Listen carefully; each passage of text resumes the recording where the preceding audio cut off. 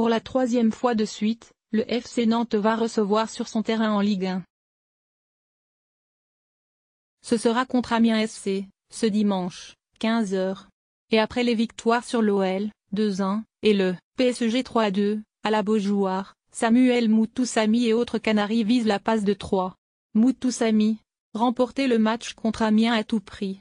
Le FC Nantes a tombé successivement Lyon et Paris, au stade de la Beaujoire en championnat en l'espace de 5 jours. Ce dimanche, les Canaries reçoivent encore Amiens FC lors de la 33e journée de Ligue 1. Un rendez-vous que Samuel Moutoussami et ses coéquipiers n'entendent pas rater.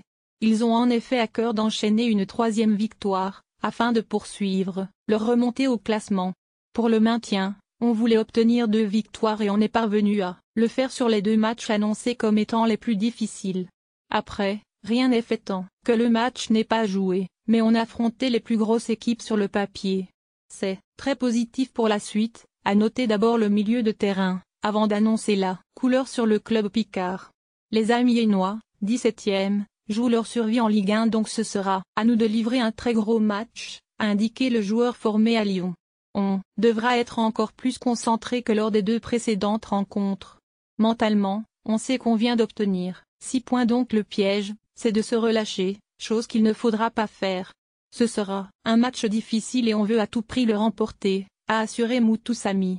Outre l'Olympique, Lyonnais et le Paris Saint-Germain, Nantes avait également battu l'Olympique de Marseille, 3-2, à la Beaujoire.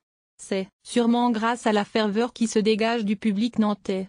Les supporters nous donnent beaucoup de force durant toutes nos rencontres, a souligné le milieu de terrain de 22 ans.